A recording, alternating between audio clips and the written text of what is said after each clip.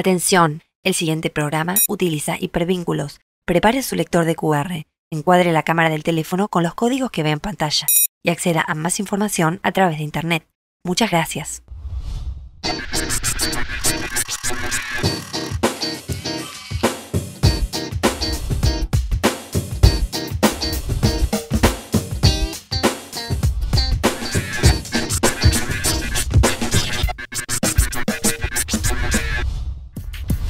Músicos, técnicos y una infinidad de variables para tener en cuenta.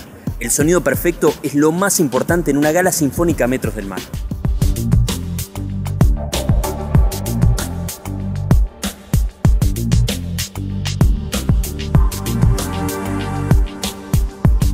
Osvaldo, ¿cómo arranca el proceso para armar esta gala? Bueno, la verdad la gala es un evento que vengo haciendo ya hace varios años. Eh, es, muy complejo porque la gente no, hay cosas que no se da cuenta. Esto arranca en Buenos Aires con la preparación del sistema, la elección de los micrófonos que se van a usar, la cantidad de, de equipo que hay que traer y la planificación que se hace porque todos hoy los sistemas de sonido de esta calidad, digamos, se proyectan, tienen un, un, soft de predicción. Entonces, con la predicción uno puede nosotros tenemos todas las medidas de, la de las gradas, de cómo está ubicada la gente. Entonces con el soft yo ya sé la altura que lo voy a colgar. Por eso mando a la gente de estructura del escenario a qué altura quiero la viga. Y, yo, aparte del sistema, ustedes ven que tiene una forma media bananada. Eh, eso sale de un soft de predicción, porque si no, este, las cajas podrían tener cualquier ángulo. Es como una especie de simulador para saber antes exactamente lo que... lo que va a suceder el software de predicción es muy exacto. Entonces lo que te dice hasta dónde y cómo va a sonar lo tenés claramente y lo ves en el papel antes de que ocurra. Entonces eso es re importante para nosotros saber cómo va a funcionar. En los sistemas Line Array que van colgados, lo que influye son más allá de la cantidad de gente las distancias. Con, esto, con esta predicción que nosotros podemos hacer, yo te puedo decir que a los, al punto de allá, si mal no recuerdo, hay 65 metros y está a unos 22 metros de altura. O sea, la gente parada ahí va a poder escuchar bien. Lo que más me interesa no es la cantidad de gente, sino el espacio que tengo que cubrir. Eh, yo puedo hacer que, la gente del medio escuche sin agudos y la gente de arriba que tenga mucho agudo. ¿Por qué? Porque el sistema puse mal los ángulos. Me tengo que cuidar con eso. Lo ideal es que suene todo parejo desde, eh, desde la primera fila hasta la última, hasta allá arriba, que la gente escuche exactamente igual y eso lo logramos. Hasta ahora lo hemos logrado. Mar del Plata eh, tiene la contra como un espectáculo al aire, libre. Claro, estamos del metros del mar y con un montón de viento acá. Bueno, entonces, eh, la caja del escenario siempre se pide cerrada, hacemos lo, lo, imposible para pelear contra eso. De todas maneras, siempre un poco de ruido por el viento hay. Este año, que espero que nos salga lindo, traje un microfonito por instrumento, que son unos microfonitos eh, que se ponen en, eh, se agarran en la mentonera del violín. Hablo de la cuerda en particular porque es lo más difícil de amplificar.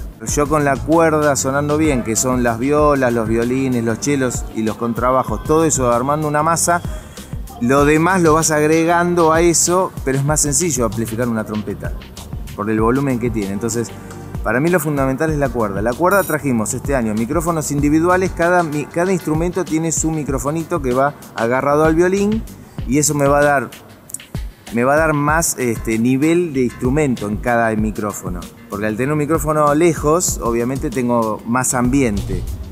Al tener, te, lo resumo rápido, al tener más ambiente tengo trompetas que me entran por ese micrófono también, el viento que me entra, todo. Entonces, lo ideal es tener un microfonito por instrumento. ¿Esto qué hace? Que el trabajo del operador se multiplique, porque ahora tengo el doble cantidad de canales, el doble cantidad de micrófonos. Así todo me parece que gano mucho en, la calidad del audio que vamos a lograr eh, y por eso este año vamos a probar este, de esa forma, poner un micrófono por instrumento no solamente hay un montón de músicos, de instrumentos, hay un montón de técnicos. ¿Cómo es también la logística para manejar esta cantidad de, gente? Bueno, el equipo es pesado, con lo cual se necesitan entre 10 y 12 personas de carga solo para, para cargarlo en el camión y descargarlo y empezar a distribuirlo, porque hay cosas por todos lados si te pones a ver. Son, y de técnicos son cuatro técnicos que se dedican, por eso venimos el día previo, al armado del sistema y después toda la microfonería de escenario, es una instalación importante.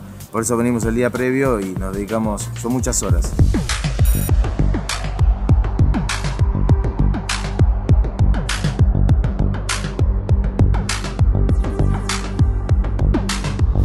El operador es quien recibe los sonidos de cada uno de los instrumentos y realiza la mezcla. Esta es una de las tareas más complejas y difíciles de todo el proceso.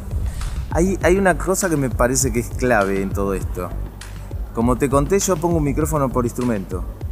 Pongo un micrófono en cada entonces. El operador, en este caso, es el que tiene en la mano el audio general de una orquesta. Y una orquesta está amplificada eh, en muy pocos casos. Ellos están acostumbrados a tocar en, teatros o en ámbitos que no necesitan amplificación. Entonces el director de la orquesta escucha lo natural. Yo acá tengo que lograr que suene grande, poderoso, en un lugar al aire libre, lo más natural posible y eh, ya queda todo a mi criterio. O sea, la mezcla, eh, el trabajo me parece más importante, más allá de toda la preparación, el trabajo de mezcla es muy difícil. Porque la verdad depende todo de lo que yo escuche, del gusto que yo tenga, que no sé si es el gusto de todos, ¿viste? Siempre hay cosas relativas, pero uno trata de amplificar exactamente todo lo que te viene del escenario. Reamplificar, no amplificar, reamplificar, porque los que tocan son ellos, ellos suenan, yo lo que hago es tratar de nivelar lo que escucho en el escenario afuera. Osvaldo, tenés un montón de años en esto, un montón de experiencia debe haber ido evolucionando mucho también la tecnología. ¿Hacia dónde te parece que va en los próximos años? Yo tengo 48, empecé a los 20, digamos. Eh, el cambio fundamental para mí es, aparte de los, antes los sistemas eran estaqueados, poníamos un baffle arriba del otro, arriba del escenario y ya está. ¿Qué se lograba con eso? Por ahí tenías un audio razonable, pero matabas a la persona que estaba adelante porque tenías que llegar a lejos atrás al estar el equipo colgado y al poder direccionar el audio como, como el sistema te lo permite, eh, eso avanzó, fue tremenda la diferencia entre los sistemas Line Array y los sistemas ah, convencionales.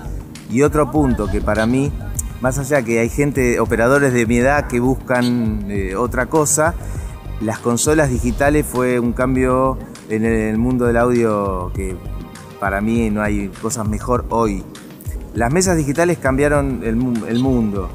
Te olvidaste de los racks, de las heladeras que poníamos al lado de las consolas y las consolas de 400 kilos. Por una consola de 70 kilos donde tiene, para mí, muchas mejores prestaciones. Tenés todo en una computadora, porque terminan siendo computadoras con una superficie de control y una calidad excelente. O sea, lo digital y los line array cambiaron el mundo. De acá para dónde vamos ya no puedo decir. Yo creo que todo tiende a ser más chico y sonar más fuerte.